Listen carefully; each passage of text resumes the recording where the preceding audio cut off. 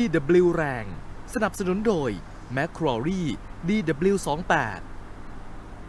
เซ็นอินเด็กอยู่ที่ 1674 นะคะ ช่วงนี้ค่ะ เราจะไปขอคำแนะนำนะคะ จากทางด้านของอีกหนึ่งนักวิเคราะห์นะคะ พี่เปียกค่ะ ถึงกลยุทธ์การลงทุนหุ้นไทยนะคะ ในช่วงรอบสัปดาห์นะคะต้นเดือน 8 เซ็ตลงมาเร็วและแรงต่อเนื่อง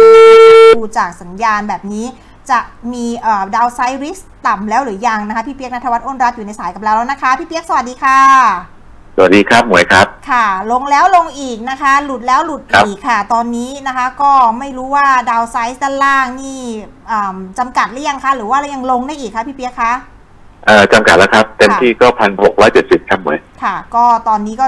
1,674เต็มที่ก็1,670นะคะเพราะฉะนั้นก็เรีครัยบกไม่ว่าเยอะครับไม่เยอะรอลุ้นเด้งแล้วนะคะ ตอนนี้ ครับถูกต้องครับรอลุ้นเด้งแล้วครับค่ะนะคะกรอบด้านบนล่ะคะพี่เปียกด้านล่าง 1670 ด้านบนอยู่ที่เท่าไหร่คะอยู่ที่พันเจ็ดครับที่เป็นแนวรับเดิมอะครับ1,700 จะเป็นแนวรับเดิมนะคะ ก็จะขยับเป็นแนวต้านแทนครับหมวยค่ะ มองหุ้นจะมีโอกาสฟื้นตัวแล้วนะคะใช่ครับใช่ครับ คือเริ่มซื้อได้เลยครับค่ะนะคะกลยุทธ์นะคะพี่เปียกเราช่วงเริ่มซื้อนี่เริ่มซื้อเออกลุ่มไหนชุดไหนยังไง แล้วเดือน 8 นี้นะคะ ก็จะมีเรื่องของการ จับตาการอ่าประชุมกนง.ด้วย ซึ่งก็คิดว่าไม่น่าจะมีเอฟเฟกต์อะไรนะคะครับไม่มีไม่มีเอฟเฟกต์ครับ ตัวนั้นไม่มีเอฟเฟกต์ค่ะ ทีนี้ตอนนี้เวลาตอนนี้หุ้นตอนนี้ปัจจัยที่ที่มีเอฟเฟกต์ก็คือทางต่างประเทศ ซึ่งผมคิดว่าเขาน่าจะค่อยๆคลายตัวไปได้นะครับ ในวันสองวันในอาทิตย์นี้ ค่ะ ส่วนส่วนการเมืองไทยเนี่ยก็เรื่องระเบิดเรื่องอะไรก็ปกติเขาจะมาครั้งเดียวครับ แล้วก็จะเงียบไปเลยยาวขึ้น คือจะมีเอฟเฟกต์เพราะฉะนั้นตลาดแค่ครั้งเดียวใช่ไหมคะ ใช่ใช่แล้วก็ปกติจะเอฟเฟกต์ไม่เยอะนะครับ ก็แค่ช็อกเมื่อวันศุกร์เท่านั้นเองเพราะฉะนั้นเราก็เลยมองว่าตรงตรงพันหกร้อยเจ็ดสิบเนี่ยไม่น่าหลุดอะค่ะเพราะฉะนั้นเช้าเนี่ยเราก็เริ่มให้ให้ให้ให้เก็บหุ้นได้เลย ค่ะ เก็บหุ้นชุดไหนดีคะเก็บหุ้นแบบไหนดีคะเป็นหุ้นที่ลงมาเยอะเป็นหุ้นที่เอ่อหวังผลประกอบการหรือว่ายังไงดีคะใช่ครับ ประเภทแรกคือประเภทที่เป็นขาขึ้นเป็นแนวโน้มขาขึ้นนะครับ ประเภทที่สอง คาดว่าผลประกอบการจะออกมาดีค่ะนะครับ ซึ่งซึ่งจริง ๆ ตอนนี้มีมีเยอะตัวมาก แต่ว่าวันนี้ผมเลือกมาให้แค่เอ่อสี่ตัวนะครับ ค่ะได้ค่ะ ก็จะมี AOT ครับหมวย AOT ก็เรียกว่ารูดลงมาเหมือนกันกับเรื่องระเบิดด้วยนะคะ ใช่ใช่ใช่เขาก็อ่าดีแล้วเพราะว่าเราจะได้หุ้นราคาเจ็ดสิบาทครับ ค่ะ เพราะว่าไม่ได้มานานแล้วนะคะ ใช่ใช่ใช่รออยู่ครับเนี่ยค่ะเพราะฉะนั้น AOT เจ็ดสิบาทซื้อได้ครับ แนวรับอยู่ตรงนี้เลยนะคะ AOT 70ใช่ครับบาทนะคะ แนวต้านล่ะคะเราจะมีโอกาสขึ้นไปไกลไหมคะ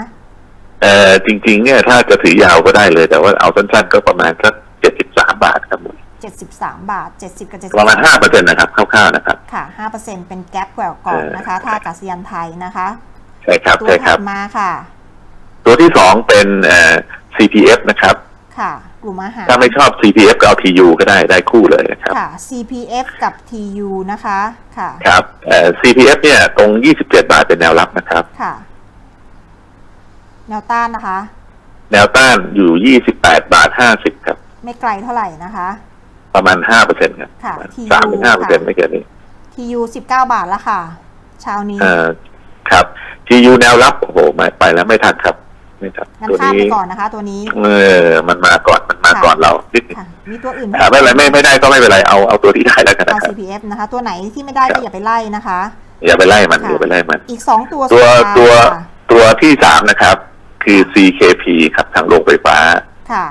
CK Power นะคะ ก็ลงมาที่ CK 6บา Power ท35ตังค์ค่ะใช่หกบาทสี่สิบซื้อได้ครับก็หตรกงนี้บาทเลเจ็ดยสิบห้าเป็นแนวแนวขายครับ6บาทเท่าไหร่นะคะเจ็ดสิบห้าตังค์ครับค่ะไม่ไกลเท่าไหร่นะคะซื้อหกบาทสี่สิบนะครับค่ะค่ะขายหกบาทแปดสิบแล้วกันครับจำง่ายค่ะก็คือประมาณ5%ทุกตัวจำไว้อย่างๆนี้ใช่ใช่ใช่ใช่ใช่ใช่ที่ให้เนี่ยในแล้วจะจบได้ภายในอาทิตย์สองที่ข้างหน้าเนี่ยค่ะถ้าไม่ชอบ CKP ให้ไปดู GTSC ครับ ตรงหกสิบเจ็ดบาท GPSC 67บาทตรงนี้พอดีเลยค่ะใช่ใช่คราวนี้ปัญหา GTSC เนี่ยผมถือยาวก็ได้ด้วยนะครับ ถือไปจนกว่าจะได้ลูกหุ้นเลยครับ อ๋อค่ะคือถือเพิ่มทุนไปเลยอะไรอย่างเงี้ยเหรอคะถือเพิ่มทุนไปเลยครับ อืมตัวที่สี่เป็น WHA กับอมตะค่ะในอันนี้ในในในพวกของเอ่อ EEC นะครับค่ะ460เป็นแนวรับครับ WHA ค่ะ แนวต้านเนี่ยคือ476ครับ4.76นะคะ แล้วก็ครับอมตะแล้วก็อมตะครับ ค่ะ23บาท90ตังค์หน้ากระดานค่ะ ใช่ใช่เอาสักยี่สามบาทแปดสิบก็ได้ครับ ค่ะ แล้วขายยี่สี่ห้าสิบครับ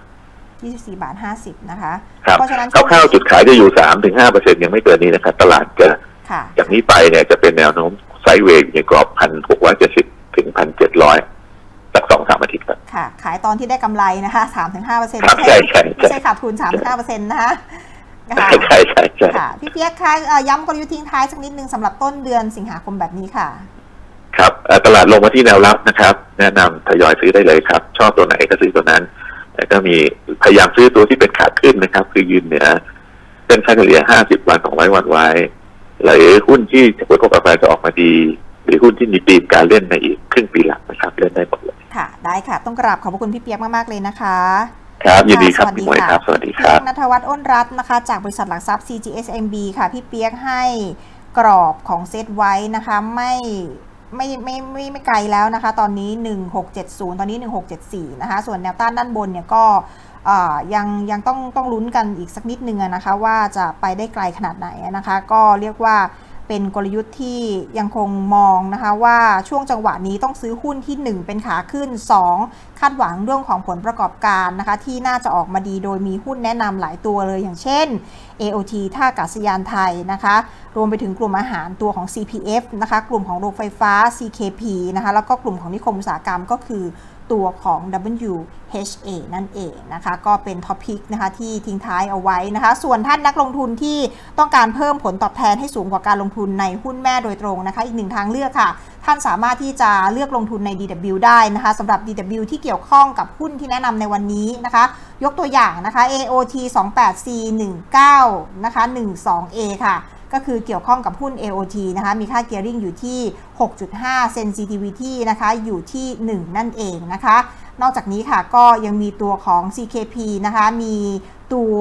DW ที่เกี่ยวข้องกับ CKP เช่น CKP 28C 1910A มีค่าเกียร์ริงอยู่ที่ 6.2 sensitivity อยู่ที่ 1 นั่นเองนะคะ ส่วนอีกหนึ่งตัวค่ะ ตัวของ WHA นะคะ มีตัว DW ที่เกี่ยวข้องคือ WHA 28C 1910A นะคะ แล้วก็มีค่าเกียร์ริงอยู่ที่ 6.0 sensitivity อยู่ที่ 1 นั่นเองค่ะ ท่านนักลงทุนที่มองหา DW ที่มีสภาพคล่องสูงขอแนะนำ DW 28นะคะ ท่านสามารถเรียนรู้เรื่องการเทรด DW เพิ่มเติมได้ง่ายๆ 2 ช่องทาง ช่องทางแรก สแกน QR code มุมจอนี้เลยนะคะ และอีกหนึ่งช่องทางค่ะ ติดตามได้ที่ www.thaidw.com ค่ะ สนับสนุนโดย m c q u a r i e DW28 ติดตามข้อมูลเพิ่มเติมได้ที่เว็บไซต์ thaidw